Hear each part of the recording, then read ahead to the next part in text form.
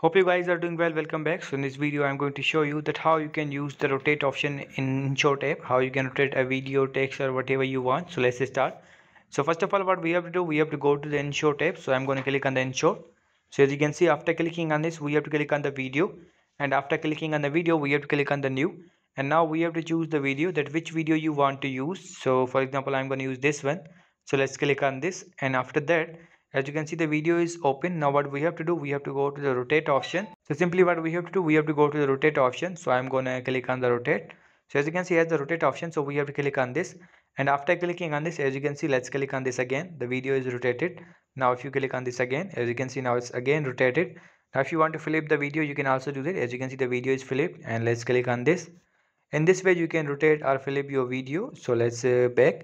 And now let's click on this. So as you can see in this way you can use it so i hope you guys understand this video that how you can rotate a video or how you can flip a video in InShot app. So see you guys in the next video